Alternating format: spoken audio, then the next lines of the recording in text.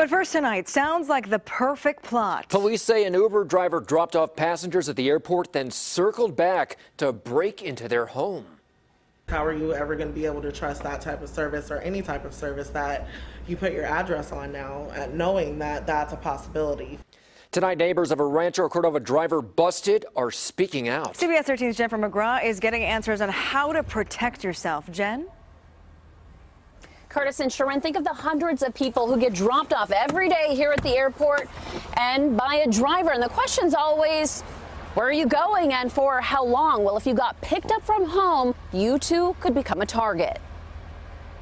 Jackie Gordon Wilson was an Uber driver, but in this ring surveillance video, he isn't picking up passengers. Police say he's picking up people's personal property from a home in San Mateo. The couple who lives there did not want to be identified. Thinking twice about uh, taking ride shares further after this. I mean, I think everybody should. Police say Wilson dropped the couple off at SFO and an hour later returned to their home, but an alarm sounded and Wilson moved to another house where police say he ransacked it for hours.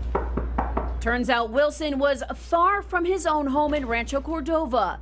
The person who answered his door for us had no comment. But police served a search warrant and found property that led them to believe there are more victims. Investigators are asking people who may have ridden in Wilson's Uber and had also been burglarized from Sacramento to the Bay to speak up. This particular circumstance applies to you, to please call the sheriff's office. So, how can you protect yourself?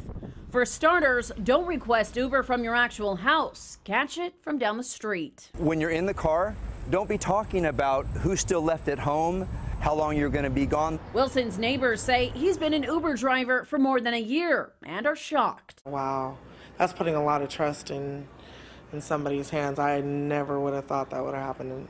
That's crazy. And local law enforcement are actually working with Uber to check out Wilson's routes to see who this could have affected. And if it happened to you, contact your local authorities. Yeah, pretty terrifying. Makes you think twice about getting picked up at home. Jen, thank you.